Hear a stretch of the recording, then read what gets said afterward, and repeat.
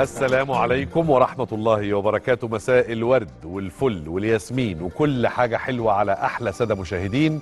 مشاهدي شبكة تلفزيون النهار حلقة جديدة من آخر النهار مع تامر أمين. حلقة يوم الثلاثاء الموافق 1 ديسمبر 2020 هانت هانت قوي قوي قوي قوي قوي قوي قوي خلاص إحنا بقينا في ديسمبر. ويا رب اللهم اجعله شهرا خيرا طيبا وابعد فيه عنا الابتلاءات والبلاءات والوباءات والفيروسات والجرثومات وكل المصائب التي نعلم والتي لا نعلم والتي أنت بها أعلم يا الله. وربنا يعدي سنة 2020 دي خلاص على خير لأنها كانت سنة تقيلة قوي قوي هانت أهو فاضل فيها شهر. ربنا يعديه على خير إن شاء الله. حاجة تانية بسرعة عايز أقول لكم عليها سريعة وهي تنويه عن الحوار النهارده الفقرة الرئيسية النهارده في آخر النهار.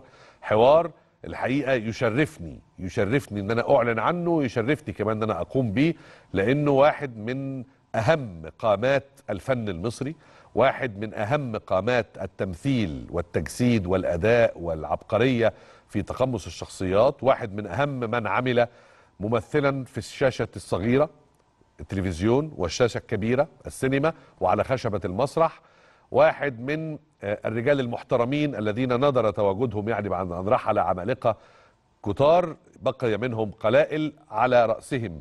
الفنان القدير والكبير والموهوب اللي مشرفني النهارده الأستاذ رشوان توفيق في حوار مطول هنتكلم فيه عن كل حاجة. الفن والحياة والسياسة والتاريخ كل ما له علاقة بالقوى الناعمة في مصر واللي بيجسد واحد من أهم رموزها الأستاذ رشوان توفيق.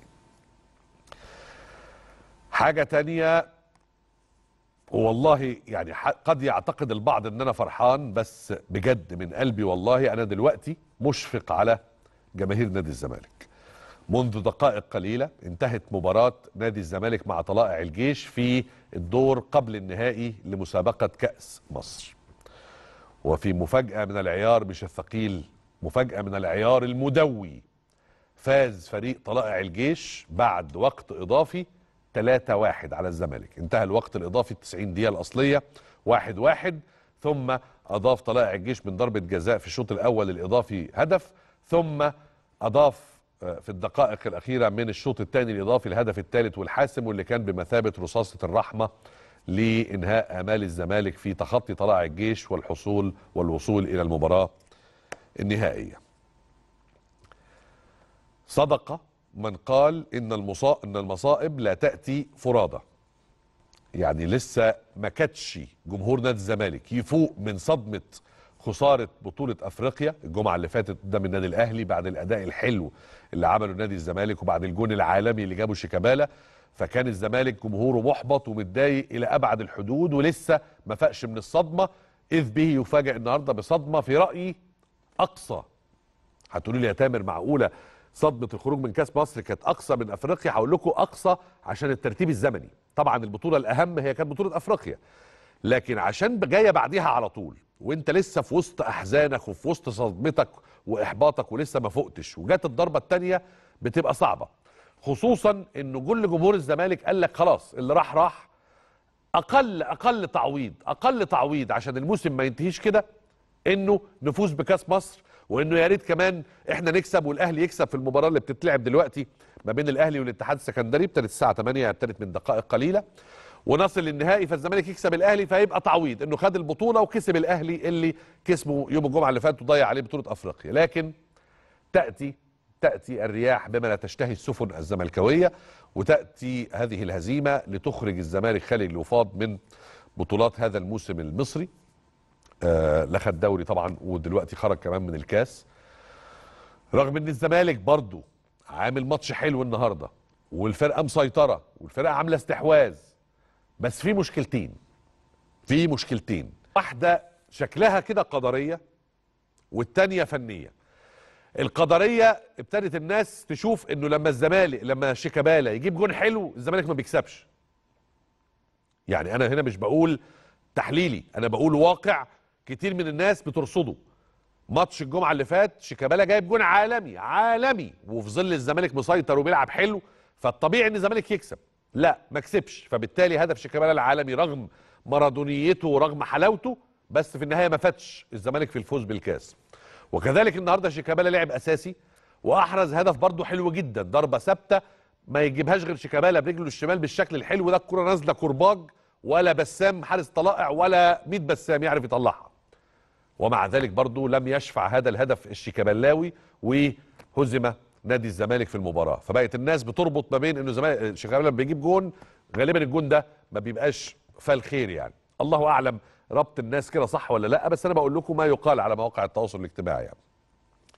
الحاجة الفنية اللي بجد إن الزمالك عنده مشكلة في الفينش. ودي أنا مستغرب لها جدا. الزمالك عنده مشكلة في إنهاء الهجمات. الزمالك كان زمان عنده مشكلة في الضغط وفي الاستحواذ وفي ك... الحل المشكلة دي اتحلت بشكل كبير. الزمالك دلوقتي مع كل الفرق حتى بما في ذلك مباراة الأهلي اللي فاتت.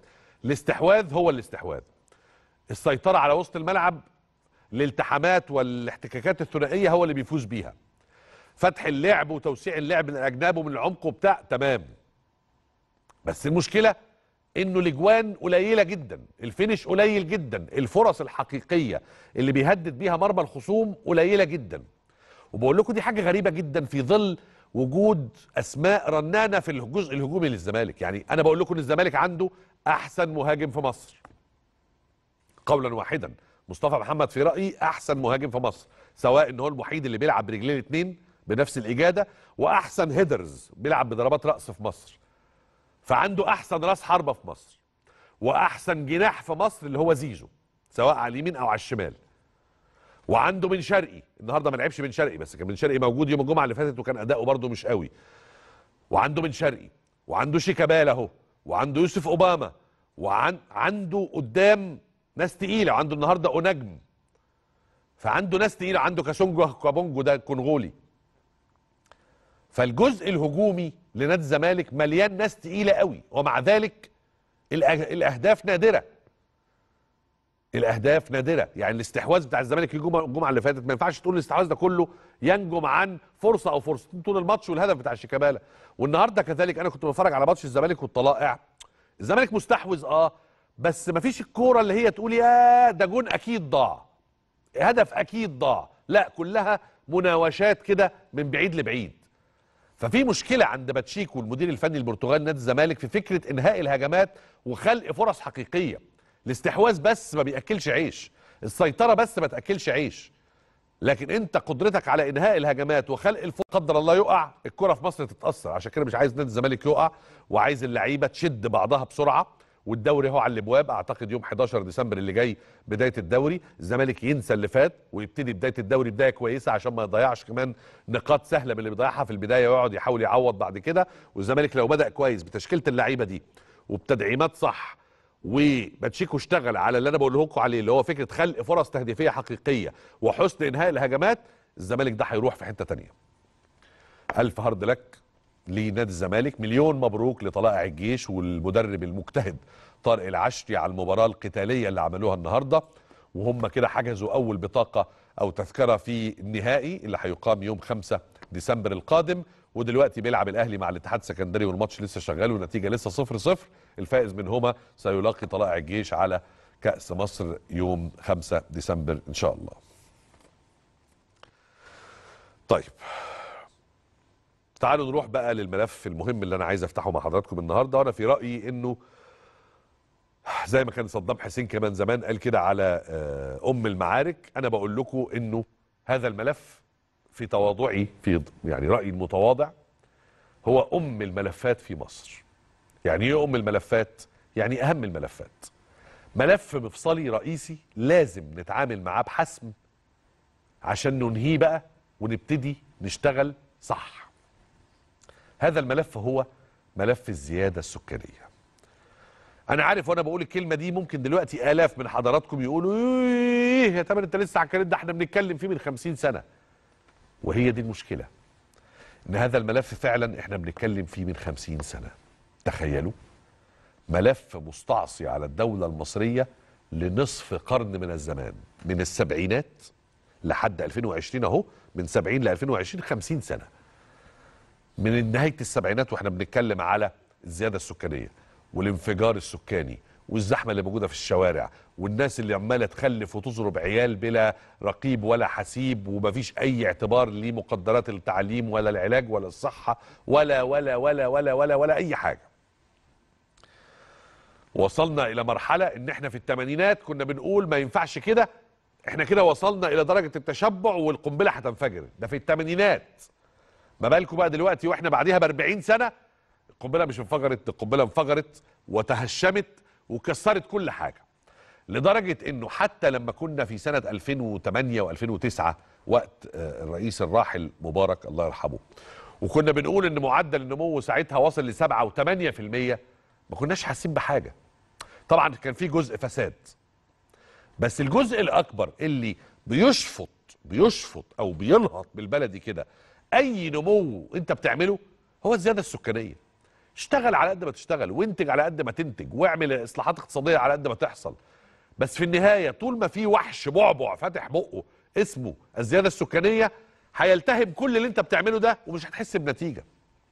فبالتالي معدل النمو بتاع 8% اللي كان قبل ثورة يناير أو قبل أحداث يناير ما حسيناش بيه. ودلوقتي كمان الشغل الممتاز على مستوى الاستثمار والتجارة والاقتصاد والإنتاج والتصنيع والبنية التحتية وكل الشغل المحترم اللي حصل بعد ثورة 2013 المجيدة برضه لسه مش حاسين بيه قوي عشان الزيادة السكانية بتلتهم كل حاجة. كل فلوس تطلع كل عوائد تطلع كل أرباح تطلع. فلازم نشوف حل. طيب واحدة كده واحدة واحدة وتعالوا نشوف الحل يبقى عامل إزاي؟ خصوصا إن أنا بقول لكم إن إحنا مش بنتعامل مع ملف جديد فهنفكر في حل.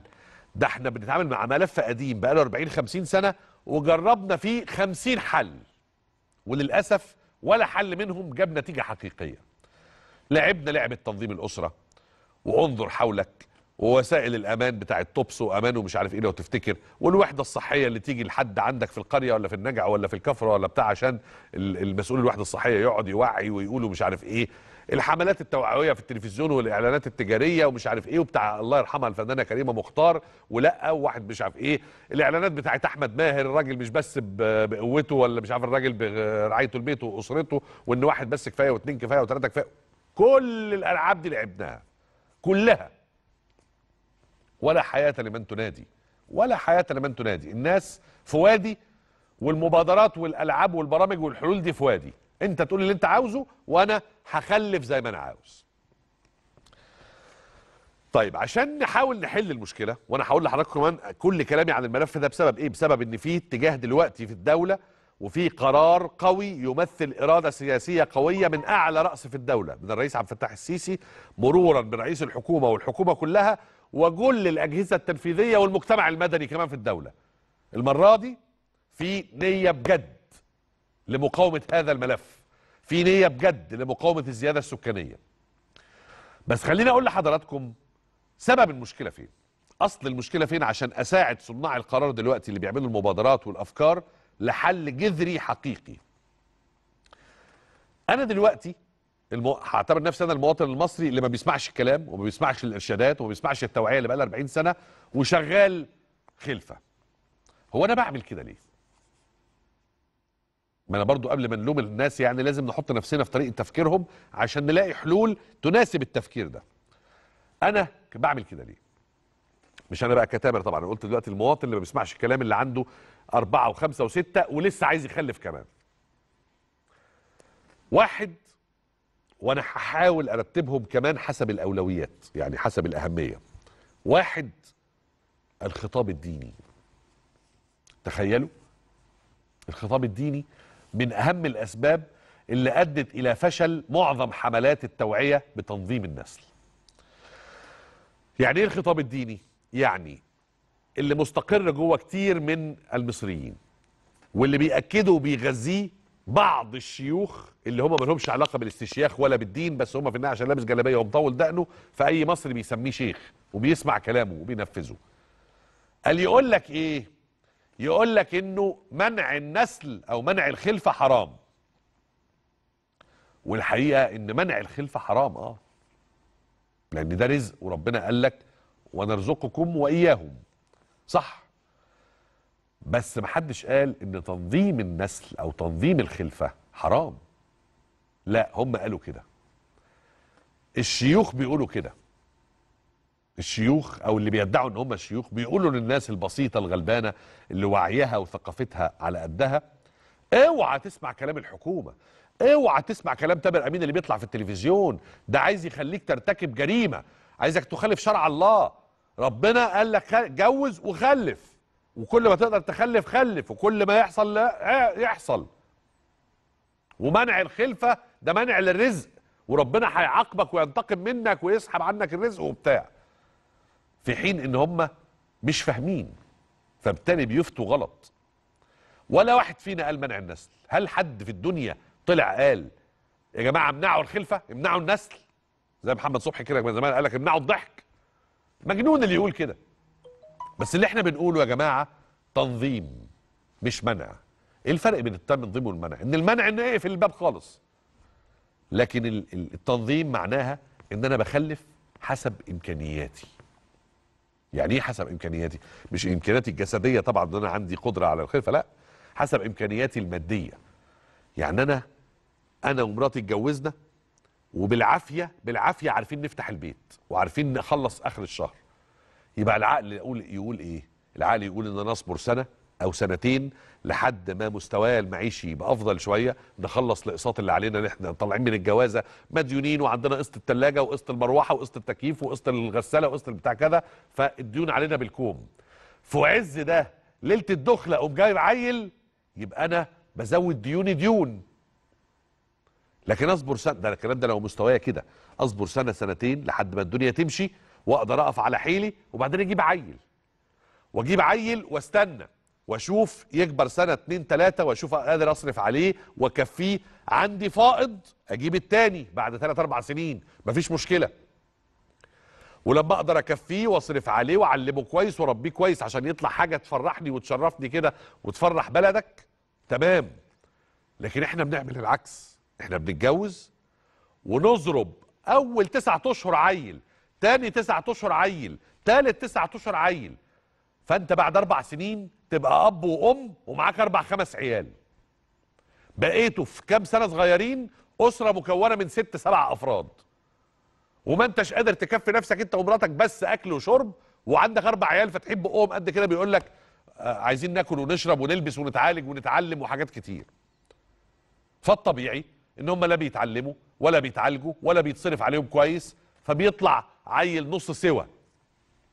نص سوا ما خدش حنان كفاية وما خدش دعم كفاية وما خدش تعليم كفاية وما خدش دلع كفاية وما خدش تربية كفاية. هياخد إزاي إذا كان الم- المعروض محدود والعدد كبير؟ خلاص الأزمة حصلت.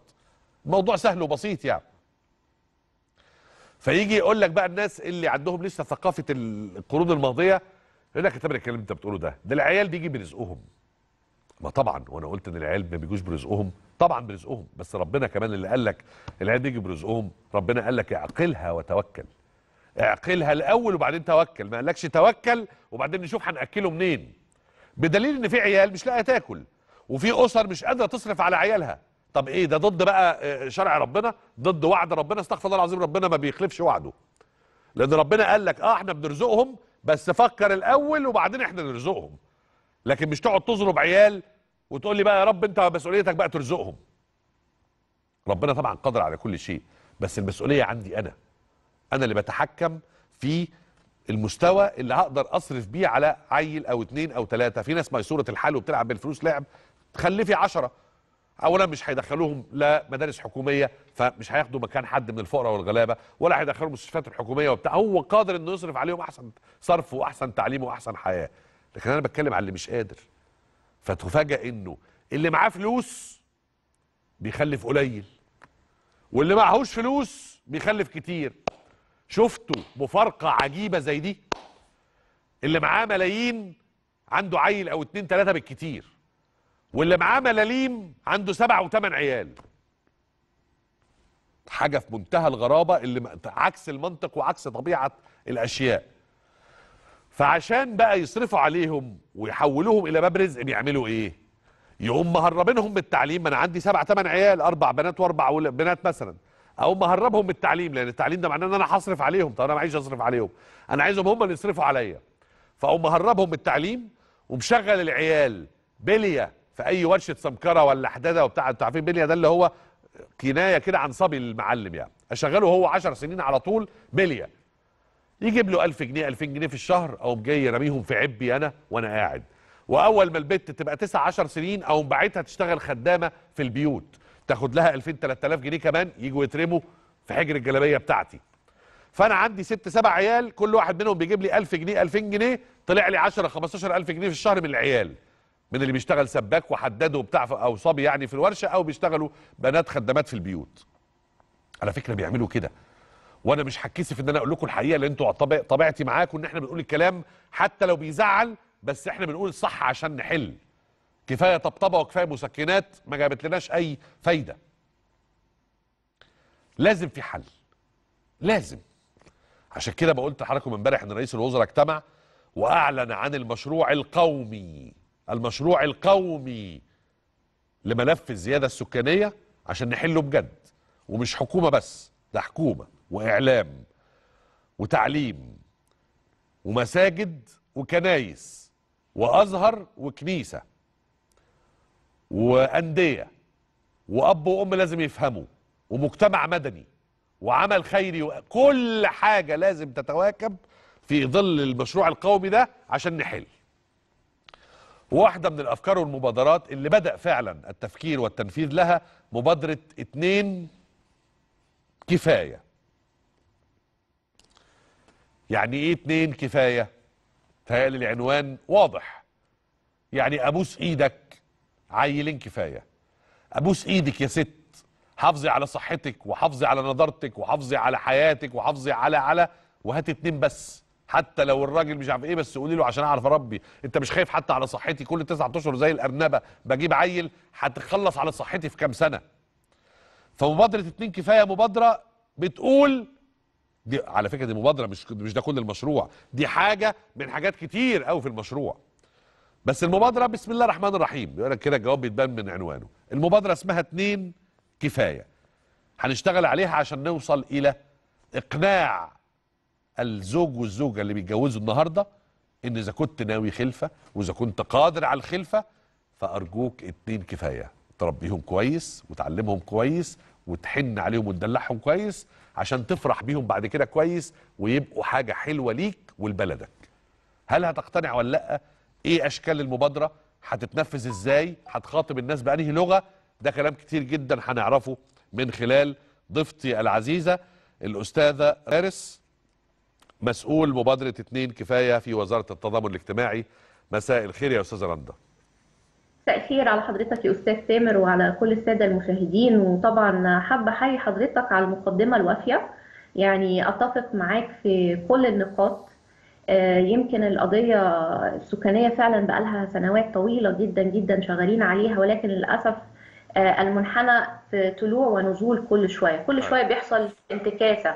وبالفعل إن رغم إن في جهود تنموية كبيرة جدا بتحصل والنمو الاقتصادي شغال بشكل جيد جدا إلا إن العجلة مش ملحقة مع عجلة النمو السكاني. في 2017 الجهاز المركزي للتعبئه العامة والإحصاء وضح إن معدل النمو السكاني وصل ل 2.56% اسمح لي أستاذ تامر إن إحنا نوضح للسادة المشاهدين إن المعدل ده يعد خمس أضعاف معدلات النمو السكاني في الدول المتقدمة اللي حوالينا. للأسف. في سنة واحدة بتجيب دولة بحالها. 2 مليون و560 ألف مولود سنة 2017 والحقيقة يعني إحنا حوالينا دول مع يعني التعداد السكاني كله 2 مليون 2 مليون ونص. صح. تخيل بقى إحنا بنجيب دولة بحالها كل سنة. كم العبء آه، مهما بنحاول للأسف كل الثمار ده بتؤكل في بعض الدول الأوروبية ده يا استاذه رندا وحضرتك أدرى مني طبعا في الإحصائيات والأرقام آه، آه، معدل الزيادة السكانية بتاعتهم بالسالب. آه في ناس يعني عدد الوفيات بيبقى أكبر من عدد المواليد. بالفعل بالفعل يا فندم بالفعل. وللأسف طبعا يعني زي ما حضرتك أشرت إحنا عندنا مجموعة من الموروثات للأسف الشديد يعني عندنا إخوة كتير خاصة في الصعيد آه، مقتنعين تماما ببعض الموروثات اللي للأسف يعني زي فكرة زي فكرة العيال عزوة دي. لا العزواء الولد سند آه، آه، نربط الراجل ب- بكثرة العيال رغم إن ده غير صحيح على الإطلاق. صحيح. آه، مشكلة كبيرة جدا. آه، طبعا التعامل مع الأطفال على إن هم مصدر للدخل ومصدر للرزق دي مشكلة تانية آه. خالص حقيقة متواجدة على مختلف المحافظات. وهنا جاء آه، مشروع اتنين كفاية اللي تم إطلاقه الحقيقة في يناير 2019 بشكل رسمي يمكن كان قبلها سنة ونص من الإعداد والترتيب لهذا المشروع لأن ده كان ملف جديد شوية لوزاره التضامن إنها تدخل فيه. وإحنا الحقيقة دخلنا في هذا الملف آه، وفقا للدور المنوط بنا في الاستراتيجية القومية للسكان اللي أعلنها مجلس الوزراء في 2015 آه، هذا المشروع بيعمل على الحد من الزيادة السكانية بين الأسر تحديدا المستفيدة من برنامج تكافل وهي طبعا الأسر الأكثر فقرا وأكثر احتياجا. آه، بنستهدف في المرحلة الأولى 10 محافظات وطبعا اختيار هذه المحافظات كان بناء على مجموعة من المعايير أساسها إن هي آه، اللي فيها أعلى معدلات إنجاب. طبعا يعني إحنا بنتكلم الصعيد آه، بيجيب لنا 40% من المواليد سنويا. تمام. عندنا معدلات الإنجاب في الفيوم وفي سوهاج بتوصل ما بين 4.3 ل 4.6 أرقام. كبيرة جدا جدا جدا. آه طبعا. هو السؤال يا أستاذة رندا وأنا متفق مع حضرتك طبعا إنه في بعض المناطق وبعض المحافظات هي الأولى بالتوجه اولا ليها يعني نظرا لكثره المواليد والعادات وال- والثقافات اللي حضرتك قلتيها. بس هو السؤال المهم اللي أعتقد حضرتك هتتفقي معايا فيه مش مهم نتوجه لهم هو السؤال هنتوجه لهم إزاي؟ وحضرتك اتفقتي معايا في بداية الكلام إنه إحنا بقالنا 40 سنة وأكتر بنقول نفس الكلام وبنعمل مبادرات وبنعمل إعلانات في التلفزيون انظر حولك ومش عارف إيه وكل اللعب اللي إحنا لعبناها مع الناس ولم تأتي بنتيجة. فلو دخلنا لهم بنفس الكلام ونفس الطريقة يبقى هنتوقع نفس النتيجة. يبقى لازم في كلام مختلف ولغة مختلفة وأفكار مختلفة. في جزئيتين لهذه الجزئية من القضية اللي إحنا بنتناقش فيها. أول حاجة طبعا أنا أتفق معاك إن إحنا قبل النزول وعشان كده إحنا بنقول إحنا قعدنا سنة ونص في مرحلة اعداد أنا لازم أعرف الفئة اللي أنا بستهدفها إيه سبب الخلفة الكتيرة ما بينها. آه. فالحقيقة إحنا نزلنا وعملنا بحث على هذه الأسر تحديدا اللي إحنا هننزل ونستهدفها. عملنا بحث موسع حاولنا نفهم إيه اتجاهاتهم إيه أسباب الخلفة. وفوجئنا الحقيقة إن يمكن زمان كان معروف إن محافظة كذا بتخلف كتير عشان العيال عزوة. المحافظه الثانية بتخلف عشان الولاد آه، ينزلوا يشتغلوا. لا أصبحت الأسر كل أسرة ليها فكرها الخاص صح. المسيطر اللي بيخليها تخلف كتير. جمعنا كل هذه الأسباب يا أستاذ تامر وعملنا دليل خاص بالمثقفة المجتمعية. إحنا معانا آه، يعني الحقيقة مجموعة من الخبراء قاموا بوضع هذا الدليل. آه، كان معانا المركز الدولي الإسلامي للدراسات والبحوث السكانية تابع لجامعة الأزهر. طبعا لأن زي ما حضرتك قلت الجزء الديني مهم جدا وموضوع شائك جدا. صحيح. فكان إن إحنا نرجع لأهل الخبرة إن هم يحطوا آه، الردود فيما يخص المفاهيم الدينية المغلوطة بشأن تنظيم الأسرة. عندنا جوانب عن الأساطير المرتبطة بوسائل تنظيم الأسرة. عندنا أيضا جزء طبعا بالمفاهيم المجتمعية الكتيرة جدا الخاطئة. مجموعة من الرسائل المبسطة جدا. دربنا شبكة من المثقفات المجتمعات وهم متطوعات بنواجه ليهم طبعا كل التحية والشكر لأن هم يمكن لحد النهارده منذ إطلاق المشروع عملوا 4 مليون و400 ألف زيارة طرق أبواب لأسرنا. إحنا بنستهدف 130 ألف أسرة. هاي. فالحقيقة كل التحية ليهم. آه، الموضوع إن إحنا بننزل من خلال المثقفات. أنا رأيي كمان أنا آسف على المقاطعة بس أنا رأيي كمان إنه حضراتكم ممكن تفكروا في فكرة الحوافز. يعني أنا عارف إن الدولة والحكومة مش عايزة تلجأ دلوقتي لفكرة العقوبات مع إن في بعض الدول راحت للسكة دي وأبرزها طبعا الصين لما لقت انفجار سكاني في لحظة معينة لجأت إلى فكرة العقوبات لمن لا يستجيب لحملات التوعية. بس خلينا إحنا قبل ما نبدأ بالعقاب ممكن نبدأ بسياسات الثواب. اللي هيلتزم ويبقى عنده ولد بس أو اتنين ياخد حوافز ياخد إعفاءات ياخد يعني ما له علاقة بمكافأة يعني.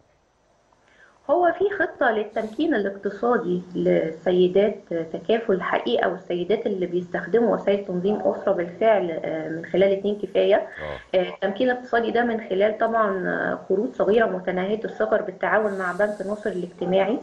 آه، دي جزء.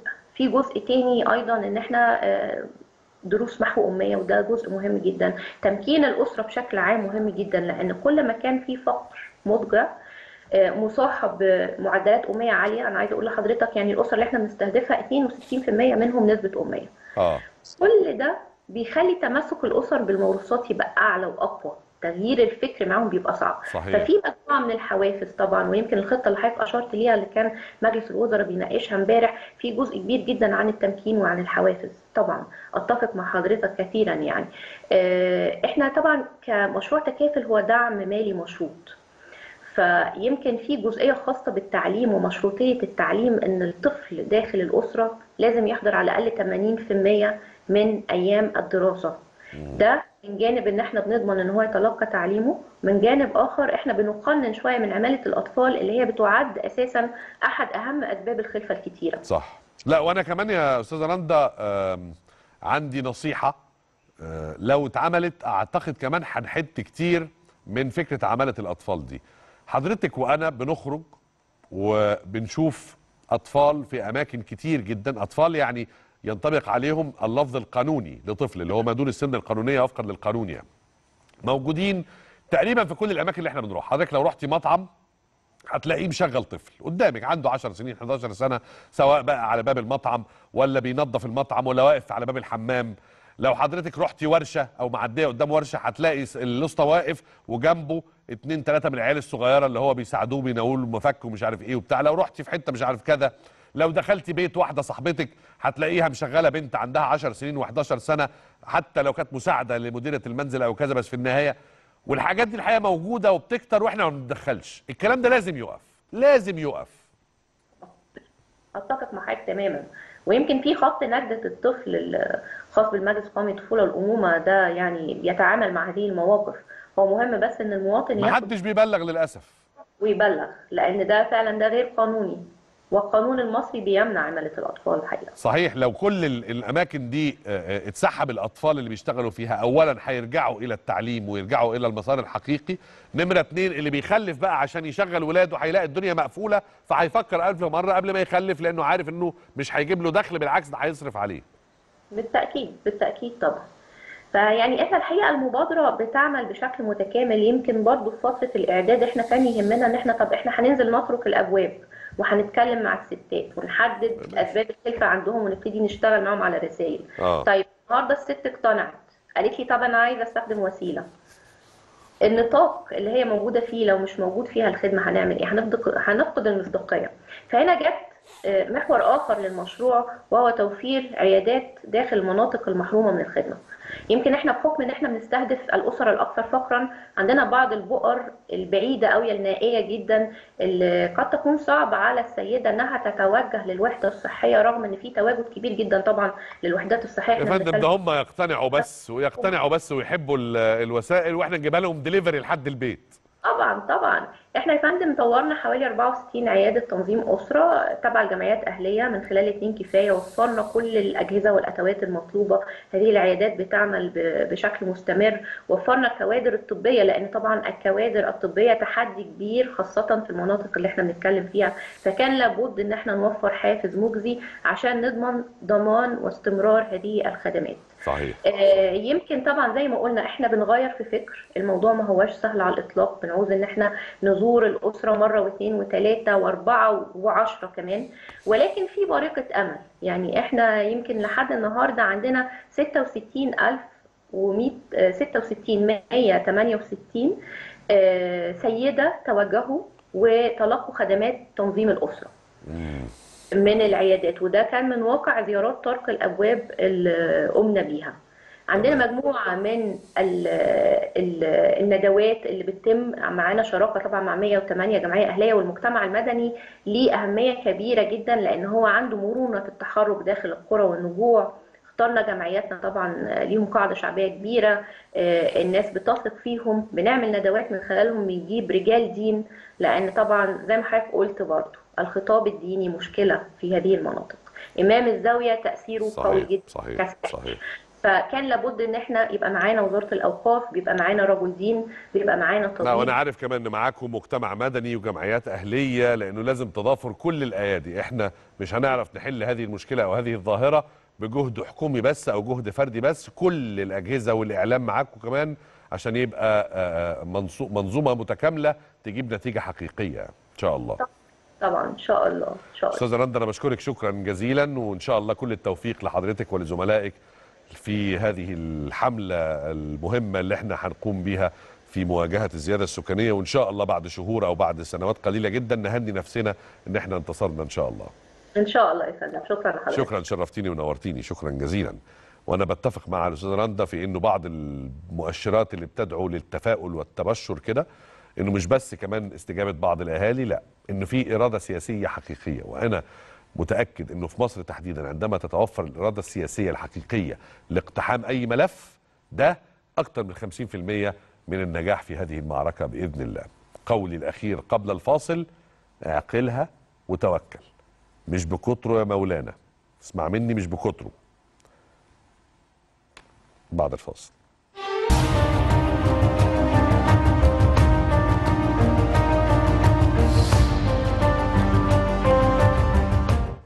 تحت عنوان يوم الوفاء والإنجاز نظم مجلس الدولة احتفالية برئاسة المستشار محمد حسام الدين رئيس المجلس لتكريم القضاة الأجلاء ممن وافتهم المنية خلال العام القضائي 2019-2020 وتكريم شيوخ المجلس ممن اكتمل عطاؤهم وبلغوا السن القانونية خلال العام ذاته. وذلك تقديرا لما قدموه لمجلس الدولة وللوطن العزيز طوال رحلة عطائهم المديدة وتشجيعهم على الاستمرار المتواصل في النجاح بالمنظومة القضائية. إحنا مش بنكرم بس الناس اللي يعني أنجزت خلال العام القضائي ولكن قبلهم وقبلهم بنكرم آه، من اكتمل عطاؤه من أساتذتنا وشيوخنا الأفاضل اللي اتعلمنا على إيديهم خ- واللي اكتمل عطائهم آه، وأحيلوا للتقاعد خلال العام القضائي المنصرم. وأيضا آه، من وافتهم المنية من زملائنا إلى رحمة الله بنكرم أسمائهم وزي ما شفتوا بنكرم آه، أسرهم علشان نحقق معنى التواصل بين الأجيال. جزيل الشكر لمحمد بك حسام رئيس المجلس إن هو كرم والدي المستشار فوزي ومن من ضمن انتقلوا رحمة الله تعالى. وشرف ليا إن والدي بينتمي من قضاة مجلس الدولة وإن هو الحمد لله أعطى مسيرته لحد آه تاريخ حالته المعاش 30 6 2020 آه وأتمنى يا رب إن أنا أكون نصه حتى أو إن أنا أكمل مسيرته أو ويا رب دايما أكون خلف صالح ليه.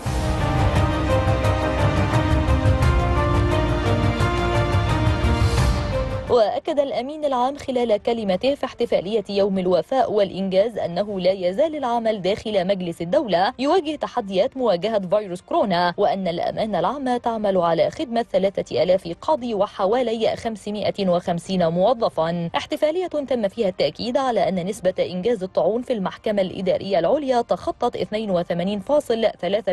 وهي تعتبر نسبة متميزة ولم يقتصر الإنجاز على شيوخ القضاة فقط بل حرص القضاة الشباب صغير السن على العمل والتميز وتسابق العديد من القضاة الجدد بهيئة مفوضية الدولة وعددهم 1300 قاضي في إنجاز القضايا سواء المنظورة أو المتداولة أو المحجوزة للحكم.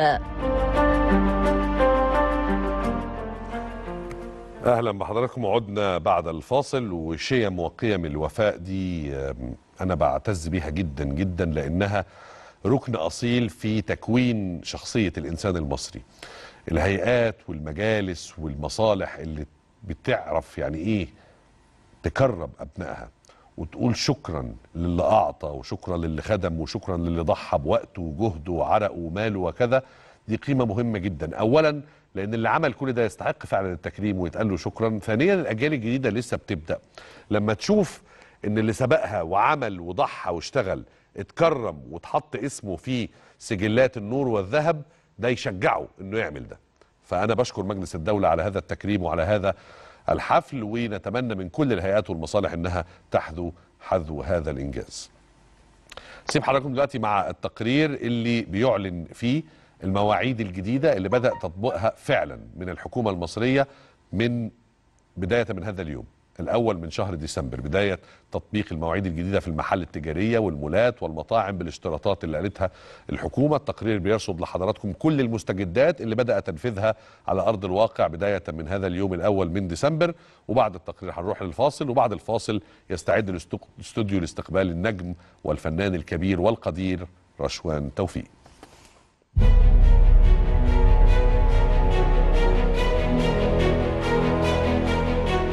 من أجل تحقيق الانضباط والقضاء على الفوضى والعشوائية والحفاظ على الصحة العامة للمواطنين في ظل انتشار جائحة كورونا أصدر اللواء محمود شعراوي وزير التنمية المحلية ورئيس اللجنة العليا لتراخيص المحال العامة قرارا بتنظيم مواعيد فتح وغلق المحلات والمطاعم العامة والكافيهات والورش والأعمال الحرفية والمولات التجارية على أن يتم التطبيق اعتبارا من اليوم الثلاثاء الموافق الأول من ديسمبر من العام الجاري ووفقا للمادة الأولى من القرار الوزاري ستكون مواعيد فتح جميع المحال التجارية والمولات باستثناء المطاعم والكافيهات والبازارات المنظمة بالمادة الثانية من هذا القرار يوميا من الساعة السابعة صباحا وتغلق الساعة الحادية عشر مساء صيفا والعاشرة مساء شتاء على أن تتم زيادة التوقيت يومي الخميس والجمعة وفي أيام الإجازات والأعياد الرسمية للدولة لتغلق الساعة الثانية عشر منتصف الليل صيفا والساعة الحادية عشر مساء شتاء كما أصدر الدكتور خالد العناني وزير السياحة والآثار قرارا بتنظيم مواعيد فتح وغلق المحلات السياحية اعتبارا من اليوم أيضا. وقرر الوزير فتح المطاعم والكافيتريات والبازارات المرخصة سياحيا يوميا من الساعة الخامسة صباحا حتى الساعة الواحدة صباحا صيفا والساعة الثانية عشر منتصف الليل شتاء على أن يتم زيادة التوقيت خلال فترة الشتاء يومي الخميس والجمعة وفي أيام الإجازات والأعياد الرسمية للدولة لتغلق الساعة الواحدة صباحا مع استمرار خدمة التيك أواي وخدمة توصيل الطلبات للمنازل بالنسبة للمطاعم والكافيتريات على مدار 24 ساعة صيفا وشتاء. ووفقا للمواعيد المقررة تبدأ شهور الصيف من يوم الجمعة الأخيرة من شهر أبريل من كل عام حتى نهاية يوم الخميس الأخير من شهر سبتمبر من كل عام. وتضمن القرار جواز تعديل مواعيد فتح وغلق المحلات السياحية المشار إليها والموجودة بالمحافظات الساحلية والسياحية بناء على قرار من وزير السياحة والآثار بعد التنسيق مع وزير التنمية المحلية. إسراء سعد آخر النهار.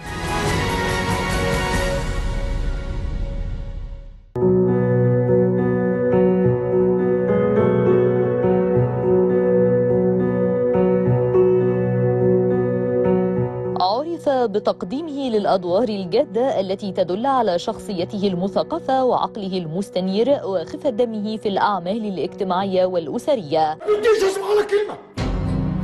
تكلمت كثير. قلت لنفسكم ولأمكم ولأختكم. الدور عليها دلوقتي إنه الفنان رشوان توفيق المولود في الثاني من فبراير من عام 1933 والذي يبلغ من العمر 87 عاما. فهو واحد من قامات الدراما المصرية شارك على مدار حياته في العديد من الأعمال الناجحة والتنويرية. قبل أن يحترف رشوان التمثيل تنقل بين عدد من المهن. بعد تخرجه من المعهد العالي للفنون المسرحية وتخصصه في التمثيل والإخراج حيث انضم إلى التلفزيون منذ إنشائه وعمل مدير استوديو ثم مساعد مخرج ولم يتوقف رشوان توفيق عند وظيفة مساعد مخرج وتطلع إلى الأفضل فتقدم لاختبار المذيعين في التلفزيون واجتازه ليصبح مذيعا. عقب إنشاء فرقة مسرح التلفزيون انضم إليها وأصبح التمثيل المسرحي كل حياته وشارك مع العديد من الفرق المسرحية في أعمال مختلفة حتى اتجه إلى السينما وقدم بها عشرات الأفلام. ورغم صورته وهيئته الجميلة لم يحصل توفيق على البطولة المطلقة في الأفلام السينمائية وتفرغ للعمل في الدراما التلفزيونية منذ أواخر السبعينيات ولكن كل أدواره كانت هادفة وأداها بنجاح وقام بأدوار ثانية ولكنها كانت أدوار صعبة. نجاح رشوان توفيق في الأدوار الدينية لا يقتصر فقط على أدائه التمثيلي بل لأنه في حياته الخاصة يحب التقرب إلى الله. ما رأينا أحدا ولا جاءنا نبأ من الطريق. فرشوان توفيق نموذج للفنان الكامل والإنسان ابن الأصول وهو ما ظهر جليا في جنازة زوجته ليضرب مثلا في الإنسانية. ثم بعد الجنازة حرص على تقديم العزاء لأسرته متناسيا أحزانه وما يمر به من أوقات صعبة ليؤازر من يحبهم. إسراء سعد آخر النهار.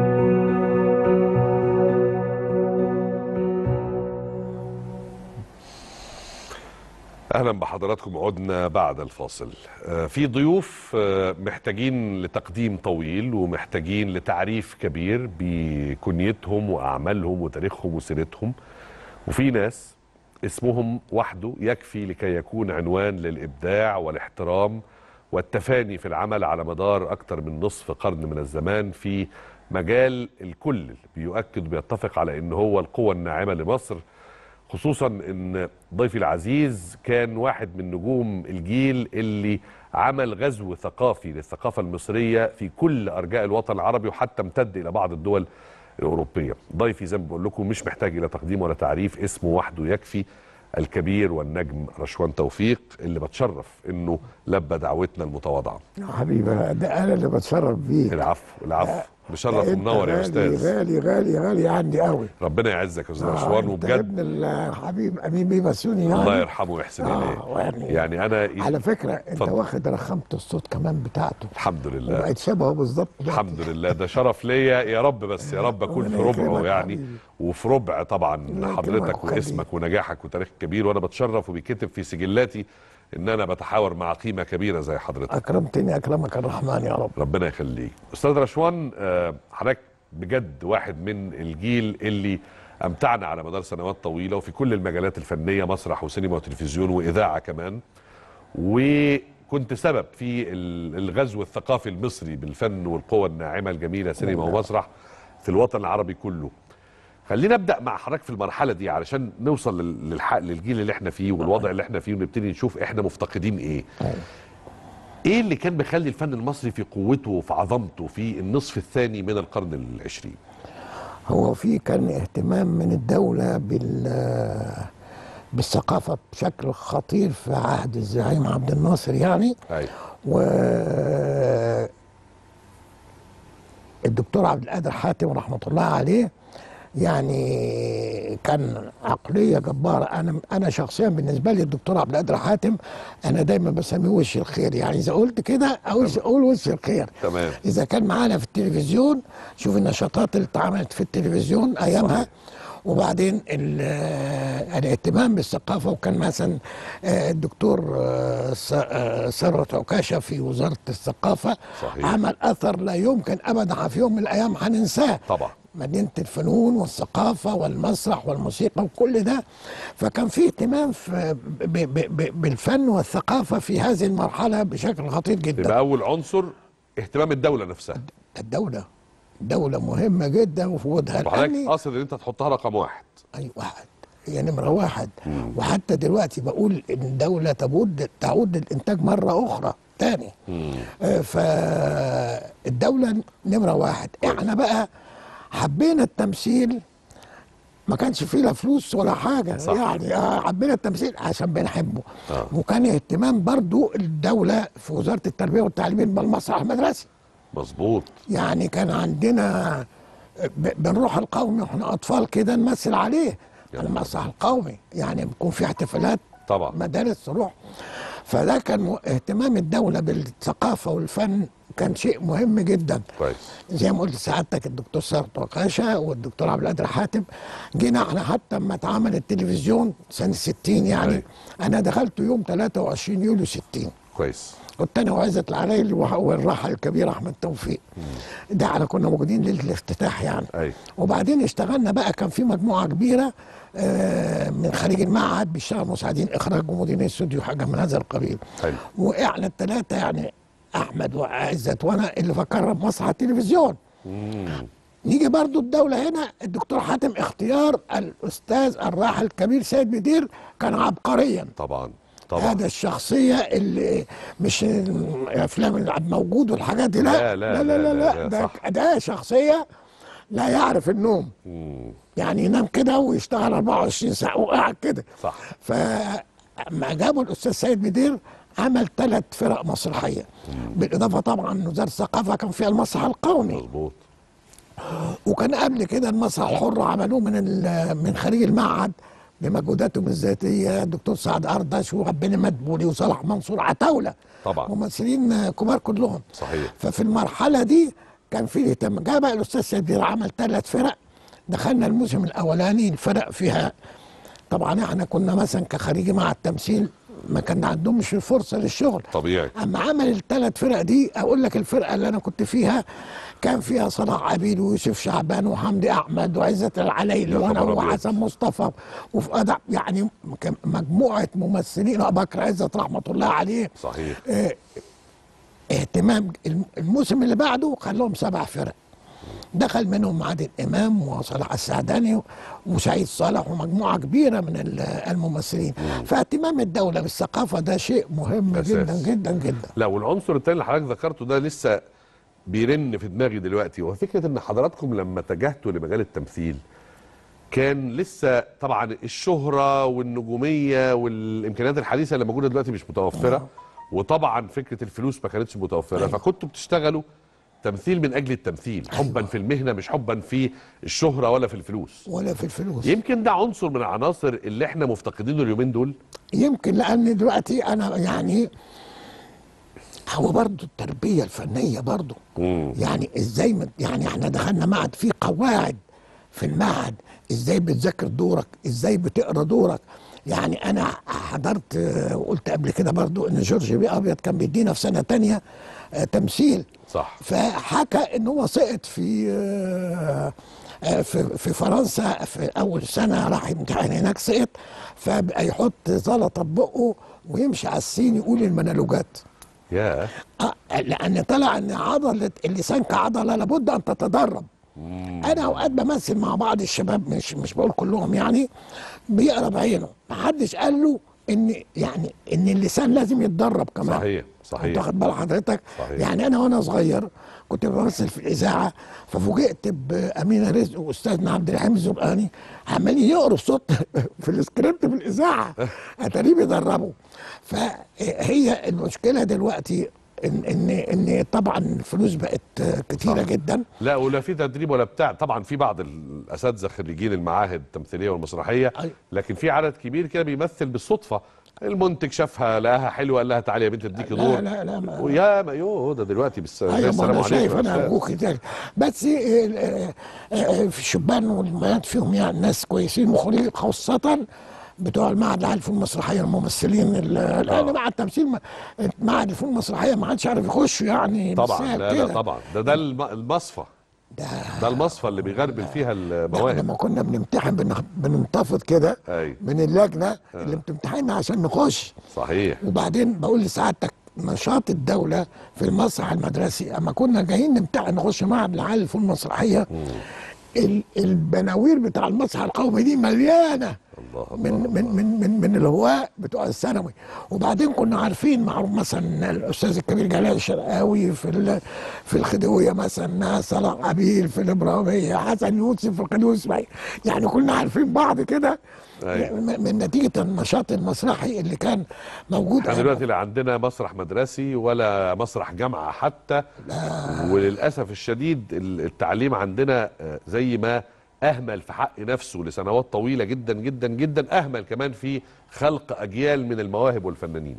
ده أنت عارف حضرتك لما كنا آه، في الجامعة كان مثلا جامعة القاهرة مم. التجارة والحقوق والطب كل دول فرق. مين يطلع الأول فيهم؟ اللي يطلع الأول نخش بعد كده بقى القناع.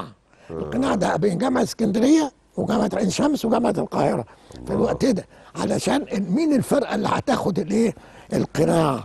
على مستوى الجمهورية. آه قناع. أيوه ده قناع بقى ده ف- فكانت هي فرقة الحقوق كانت أقوى فرقة يعني. صحيح صحيح. حضراتكم وقت كمان وإحنا عمالين نشخص كده عشان إحنا في النهاية عايزين ال ال ال الكيرف أو المنحنى بتاع القوى المصرية الناعمة في الفن ما يقعش. أيوه. فعايزين نحافظ على نفس المستوى ونعلى كمان. جزء يمكن كمان مهم في جيل حضراتكم هو فكرة إنه آه، زي ما حضرتك قلت اولا ما كناش بنشتغل عشان المادة ولا عشان الفلوس. أيوة. رقم اتنين عنصر مهم جدا وهو عنصر المنتج الفني. أيوه. المنتج الفني زمان كان فنان. أيوه. المنتج دلوقتي تاجر والفرق هنا كبير. هو الفرق كبير جدا. أنا شخصيا رأيي يعني أن الدولة هي التي تنتج. المنتج الفني أنا ضده إنه كان ياخد هو يكمل إنتاج. أو بعد كده المنتج المشارك. كمان المنتج المشارك ده أخطر من المنتج المنفذ. ليه؟ ليه؟ لأن المنتج المس... المنفذ كان بياخد الفلوس وبينت... ويطلع أرباحه هو و... صح. يعني يعني كده و... و... ويضغط في الإنتاج ويصور إزاي ويخلص. طبعا عشان يستفيد هو. مظبوط. آه... المنتج المشارك بقى هو طبعا في بيفهموا في حتة التجاره ولعبة الفن دي. طبعا. فأما كان يجي يقول أنا منتج مشارك بيقول الميزانيه كذا. بس هو يبتدي التصوير وبعد كده ياخد هو الإيه؟ الفلوس من الدولة. صح. في الحالة دي بقى هو بقى شريك شريك الدولة في الإنتاج. مظبوط. أما كل ما تبيع أو تعمل ويحصل ربح هياخد ربح وهو عامل برضه في دماغه ميزانية الإنتاج اللي كان هياخدها كمنتج منفذ. آه. أنت واخد بالك بس؟ يعني معنى كده ان حضرتك مع إنتاج الدولة ومش مع القطاع الخاص؟ القطاع الخاص جميل يشتغل بفلوسه. آه. بفلوسه أيوه.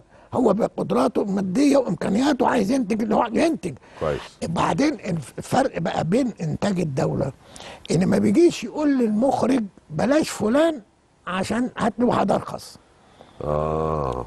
لا الدولة المخرج بيقدم الكاست للإدارة بتوافق على اللي هو عمله. بالإضافة بقى إن كان العتاوله من المؤلفين الكبار زي أسامة أنور عكاشة وجلال عبد القوي و- وفي مجدي صابر دلوقتي أنا بحترمه جدا كمان. آه وحيد حامد ناس تقيلة. وحيد حامد ده. يعني لا ده وحيد حامد ده مدرسة مستقلة طبعا، طبعا. ده مدرسة مستقلة لوحده ده يعني المؤلفين دول ما ما يعني دلوقتي يقول لك كان آه، قريت موضوع امبارح في الاهرام إن السيدة وزيرة الثقافة عاملة آه، ندوة اليومين دول وحتى الدكتورة دورية شرف الدين رئيس اللجنة الموضوع كاتبه. الكاتب الكبير محرر آه بسم الله الرحمن الرحيم. مكتوب في الاهرام امبارح. تمام. إزاي بتناقش الرقيب على المصنفات؟ فبقول لها ده إحنا بيجي لنا الم... ال... ال... الخمس ملخص للمسلسل. آه اللي المعالجة دي. وبعدين طب فين المسلسل؟ لا ما إحنا بيجي لنا حلقات فالمناقشة بتاع الدكتورة درية شرف الدين كان مناقشة شديدة جدا مع من اللي أنا قريته يعني. في ال تمام. في فإحنا عندنا مشكلة إنه حضرتك شايف إن الدولة لازم ترجع تنتج وبكثافة؟ والقطاع الخاص لما يخش ينتج بفلوسه هو ويتحمل هو ال- بفلوسه. آه. آه يعني هو عايز ينتج بفلوسه ينتج بفلوسه. صح. على مزاجه يعني. و... و... وزمان كان في طبعا كتيبة كتيبة. كاتب أيوة. كاتب اسمه كاتب عنده رؤية وعنده فكر. حضرتك إيه رأيك في فكرة ورش الكتابة دلوقتي؟ إن الفيلم أو المسلسل يعملوا ورشة من خمسه ستة بيقعدوا يكتبوا العمل. أنا مش عارف إزاي بيكتبوا. يعني شوف أنا نسيت في أسامي بتروح مني لما بتكلم آه، محفوظ عبد الرحمن. طبعا أما طبعا. اللي محفوظ عبد الرحمن ابقى عارف إن دي جمل محفوظ عبد الرحمن جمله. أما أقرأ الأستاذ أسامة أنور عكاش أعرف إن جمله. اللي جلال عبد القوي ابقى عارف وجمال دي يعني مؤلفين هم اللي بيكتبوا. أنا مش عارف في الورشة دي هل الخمسة ستة دول بيفكروا في تكوين المسلسل ككل؟ وبعدين واحد هو اللي بيكتب الحوار. لا كلهم بيعملوا كل حاجة. طب إزاي؟ وبعدين أنا شخصيا آه، دايما بقول أنا ضد كلمة ورشة. هي مصنعية حاجة صناعية بنعملها. ده فكر وثقافة صحيح. وحاجة خارجه من قلب ال- الأديب اللي بيكتبها. يعني أما أنا ما عملت ليل وآخره أما كنت آه، بقرأ المشاهد اللي كاتبها الكاتب الكبير جلال عبد القوي. كنت ببكي. يا سلام. ده أنا في مشهد اللي هو قاعد في المقصوره بتاع السيده نفيسة. وأتمنى يبقى عنده بنت يسميها نفيسة وكان نفيسة العلم في الاحداث. بتاع المسلسل أنا لما قريت المشهد بكيت وأنا قاعد في البيت قبل ما امثل الدور. كمان.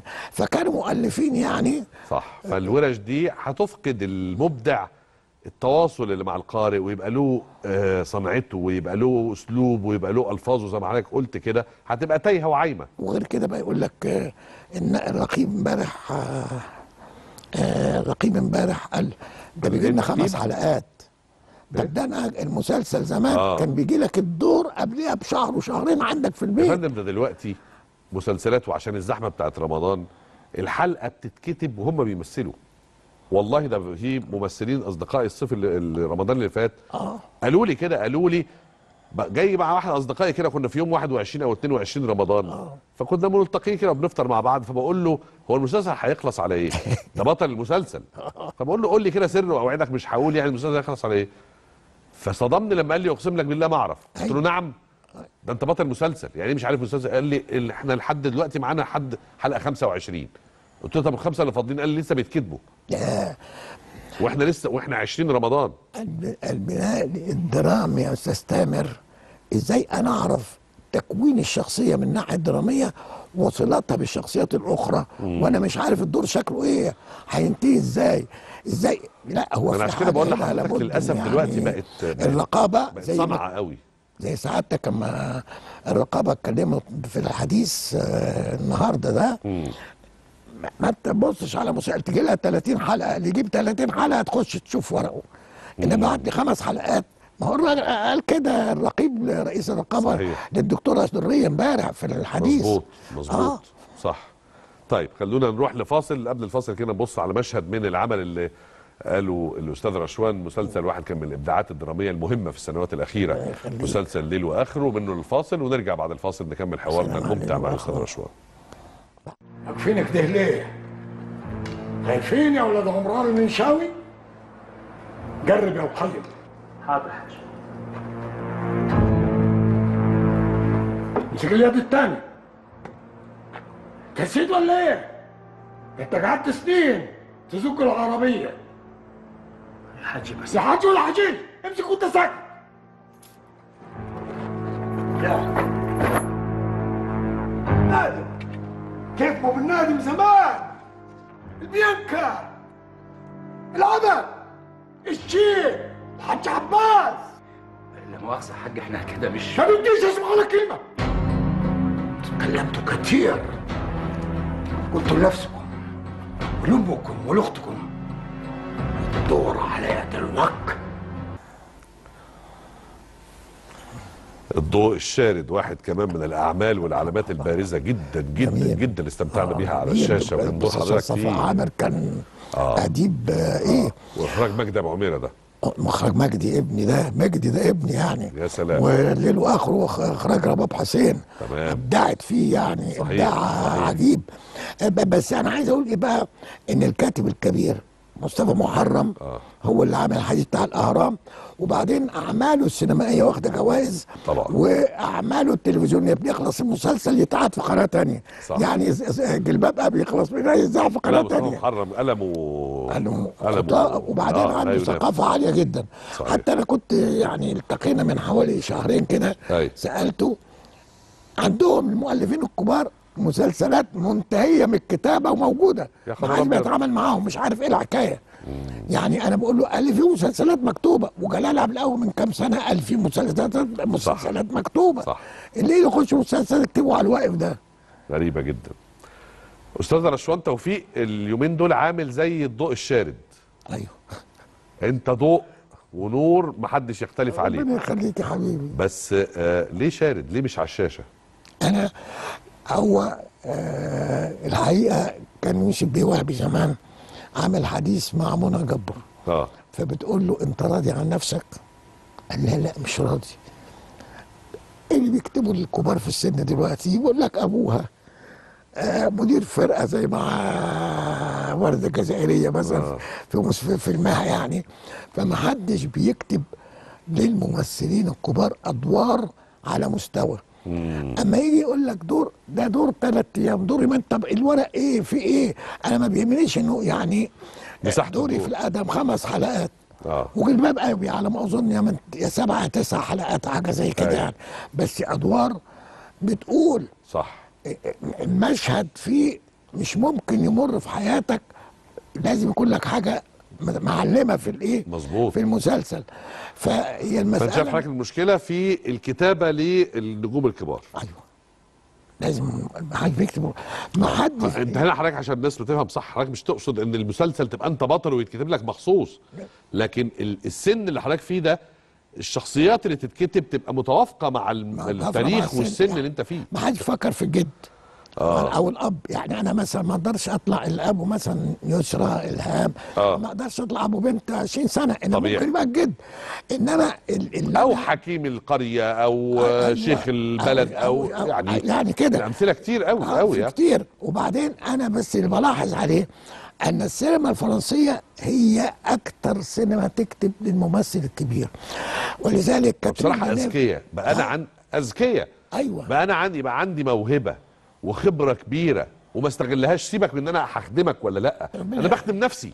أيوه. يعني أنا لما أكتب دور حلو في مسلسل حلو لشخصية في حجم الأستاذ رشوان توفيق ولا الاستاذ الكبار أيوة. آه، ال- الممثلين العظام اللي عندنا ما هو أنا في النهاية أنا بستفيد باخد كل تراكم الخبرات دي وبستفيد بيه في العمل. هي الأزمة بتاعت عبد الرحمن اللي عملها دي. آه. نتيجة إن هو زعلان على نفسه. عبد الرحمن أبو زهرة. إن هو است- عبد الرحمن أبو طبعا. يعني وبصراحه إحنا كمان زعلانين عليه. آه، يعني هو اما إن هو اما يجي يعمل دور ما هو مش مقتنع بيه يمكن ظروفه خلته يعمله. آه. إنما هو الأدوار الخطيرة آه، الشيخ الحاج سردينة في الجلباب ابي أو لا أدواره عظيمة. آه، آه، أدواره ظاهرة طبعا. الأدوار الخطيرة اللي عاملها طبعا. قبل كده. فطبعا هو لا وأنا كمان يضايقني قوي يا أستاذ رشوان. طبعا أنا بقع في حضرتك من الحرج ده. أنا يضايقني قوي قوي قوي قوي قوي لما يبقى نجم كبير وخبرة عظيمة زي ده و... و... ويستجدي الشغل. يقول يا جماعة أنا قاعد في البيت وبصحتي ومش لاقي شغل.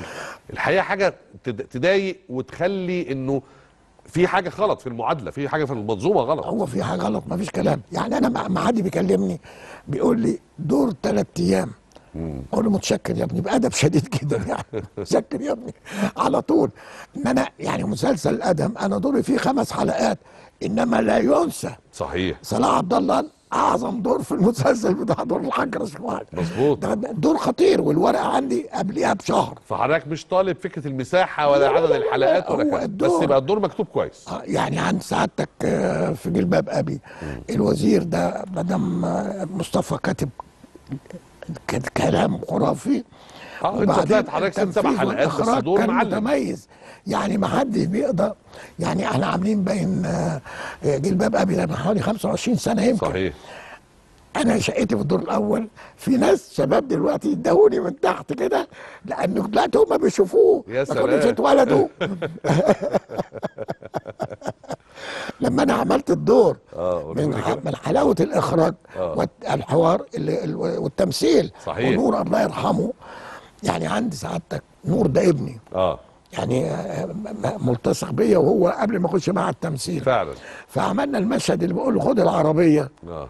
بتاع بتاع بدل مؤخر. وبعدين قال له أنا هشيل المؤخر. فالراجل وهين فجات له الأزمة القلبية. مظبوط. فنور ده قال لي يا حاج أنت عملت مشهد خطير جدا.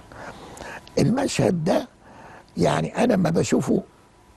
وبعدين آه، أحمد رحمة الله عليه عملنا ال- دخول البيت بعديها ب 15 يوم. صح.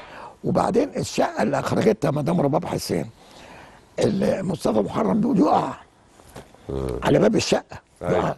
إنما رباب حسين عملت اللفه دي اللي بيبحث عن هوا. آه. ويسقط في الكدر مشهد ما بيتنسيش. صح. صح. علامه. ماستر سين. آه يا سلام. صحيح صحيح صحيح. واين قلبي. مظبوط. أين قلبي مع مدام يسرى وصابر وماجده ابو ما بتكلمش حد تقول له أنا عايز أشتغل. أنا؟ لا. أنا على فكرة اتفضل. الفنان ده فوق وتحت وفيه وما فيش. أنا علاقتي بالله بس. ونعم ما بالله قلت إذا قلت لحد أنا عايز أشتغل يبقى أنا عبد عنده هو. مش عند عبد الله. يا سلام. مش عند ربنا سبحانه وتعالى. ولذلك أنا طول حياتي عمري ما قلت لحد أنا عايز أشتغل معاك. أو أتعامل معاك. لا. الرحمن يخبط الرزق كده بتاع الرحمن يخبط على الباب. صح صح. فحضرتك طول الوقت سايبها على ربنا. آه، مفيش مفيش غيره.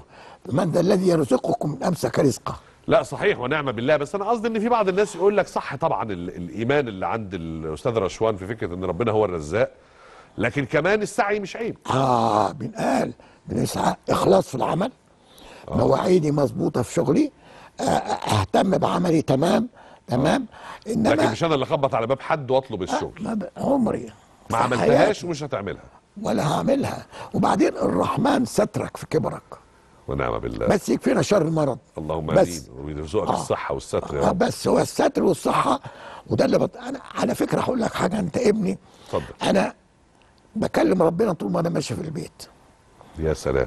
آه بقول له مش عارف أقف في نعمك. بتكلم كده زي ما بكلمك كده. بصوت عالي. بتكلم كده. يا رب أنا مش عارف اقف في نعمك.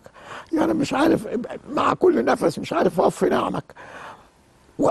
وبعاقب نفسي بقول له مش عارف أقف في نعمك بكلم نفسي أنا. عليك أما بنعمة ربك فحدث. يعني قاعد أستنجد بالله إن أنا مش عارف أقف. بقول له يا اكتبيني مع عبادك المخلصين طبعا طماع أنا يعني قد كده. عايز حتة. طبعا في رحمة الرحمن. يعني طمع في وجه الرحمن آه. آه واجب. الرحمن الرحيم. واجب آه واجب. وبعدين هو رؤوف بالعباد. صح. ربنا سبحانه وتعالى. بس أنا اللي بخاف منه المرض بس. لا كلنا بنخاف طبعا لكن في النهاية ربنا يعني رحمن بعباده. أيوة. وأكيد إن شاء الله ربنا وبدعواتنا كمان يرزقك الستر والصحة ما يعني. يا عمري يا أستاذ تامر ما قلت المخلوق في حياتي. شغلني. أو أشتغل معاك مع أي ظروف. إنما بقى آيات الله معايا سبحانه وتعالى إنه يفكها في الوقت المناسب. يا سبحان الله. آياته آيات معايا يعني معجزات. أقول لك حكاية بره. اتفضل. أنا كنت مسافر سوريا بعد ثلاث أيام. حلو. الكلام ده من إمتى؟ زمان. آه زمان. آه. أنا صغير. من قبل قبل 69 كده حاجة كده يعني. تمام. ف أنا الحاجة رحمة الله عليها عمرها ما قالت لي بكرة هنعمل إيه في حياتها. مهما أمر بظروف فوق أو تحت عمرها يا حبيبتي ما قالت لي ذلك هي معايا ليل نهار. عمرها ما قالت لي. هنعمل إيه. فأنا مسافر سوريا. والمرتب بتاع الحكومة يقضي أجرة البيت بس. كويس. تاخد بالك؟ فهي نايمه جنبي كده. ده كان الساعة 11 بالليل أو 12 نايمة. ببص لها كده. أنا بفكر. وهي نايمه قلت لها أنت فولاذ. ما تقوليش بكرة هنعمل إيه؟ ما تسافر. والله العظيم زي ما بقول لك كده. لقيت حبشي مساعد إنتاج بينده عليا. قلت له اطلع يا حبشي. "إيه يا حبشي؟ قال لي الاستاذ حلمي رفل عايزك. قلت له يا سيدي أنا مسافر سوريا بعد يومين. بعد يومين. قال لي تقدر تجي له المكتب احسن تقول أنا ما جيتش قلت له هنزل يا سيدي أروح لحلم رفل عشان خاطرك بس كويس. عشان ما يتأذيش الولد طبعا فنزلت لقيت أحمد عيسى رحمة الله عليه المخرج المنفذ اخوه ده عيسى وده زميل آه. آه. عمرنا يعني قلت له يا أحمد ده أنا مش قال لي ده أنت هتخلص دلوقتي هتخلص ده أنت هتعمل مشهدين مع عماد حمدي وزوزو باضي وكان نص ساعة معموله أفلام التلفزيون آه طبعا أنا أحد اللي دخلوا التلفزيون هو بتاع قلت له دي انت التصوير يا نهار أبيض. ورحت رايح التلفزيون جبت الفلوس ورجعت. يا نهار أبيض. شوف شوف ربنا رحمته بيا إزاي. ونعم بالله. آه وخدت جبت 40 جنيه 40 جنيه في الستينيات كانت إيه؟ ثروة. ثروة بقى. أنت يا نهار؟ أبيض. والله ونص ساعة يعني سوا يعني أنت بتكلم زوجتك بس بتكلم ربنا كده تقول هنعمل إيه ولا نعمل إيه؟ بعت لك الرزق في ساعتها. جيت بقى جاب رزق ده أي نعم كتير. عن طريق حبشي بس هو رزق. أيوه ده الرحمن يعني ما ما تخلاش عني ابدا. مع هو اصل هو اختبارات. هو ربنا دايما كده. آه، يا سلام، رحمن طالما رحيم. ترمي توكلك على الله وتبقى مفيش يقينك. بالله ثابت ومؤكد ربنا عمره ما يتخلى عن يا عباده. سلام والله طول الليل وطول النهار بكلمه. آه مش عارف اقف في نعمك مش عارف اقف في نعمك. يا سلام. يعني بقول للح... بقول لأي حد. اول لسه بكلم ناس حبايبي يعني. بقول لهم أول حجة حجناها ما كانش فيه فنادق سنة آه. 73 صح. فكان نايم- مخيمات. آخر مرة في فوق في هوتيل خمس نجوم. طب أي رحمه منه بقى؟ طبعا ونعم؟ بالله ونعم بالله. يعني اي أي نعمة من مين مين أصحابك دلوقتي يا أستاذ رشوان؟ مين بيسأل عليك؟ بيسأل على والله هم هم اتنين. عزت العلايلي ليل نهار معايا وعبد الرحمن أبو زهرة. يا سلام. آه يعني هم دول دفعتي يعني. تمام. هم دول أنت اللي- بتسأل عليهم وهم بيسألوا عليك على طول. رباب حسين طبعا آه. وسمير عبد العزيز. يعني ودلال عبد العزيز. دلال؟ دلال دي رغم وميرفت إنها طبعا أمين الغالية.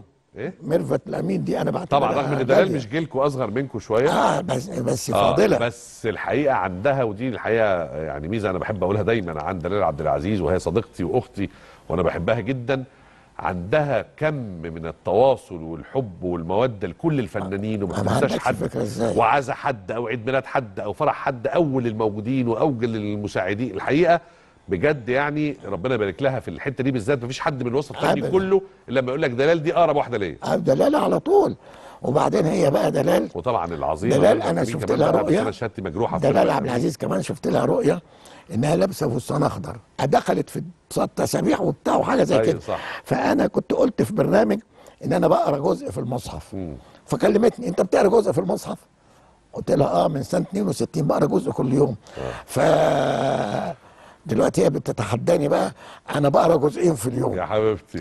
لا يعني اللهم صل على النبي عليها يعني ربنا يسعدها ببناتها ويبارك لها فيهم. آه، على طول على. اتصال بيا آه وبعدين دي في آية 124 في سورة الأنعام بتقول لي أنا أنا بقرأ طول السنين دي ما خدتش بالي. قالت لي الآية لفظ الله ورا بعض ما فيهمش فاصل في الكلام. قلت يا أنا رحت رايح فاتح المصحف أنا بقى. طبعا. قلت لها 124 يا دلال. 124 دلال. بس الميم بنقف وقف كامل وبعدين نكمل. صح. بس الله الله ورا بعض. الله، شوف الله. هي بقى لأن هي بكالوريوس آه، زراعة عقلية علمية. صحيح صحيح صحيح.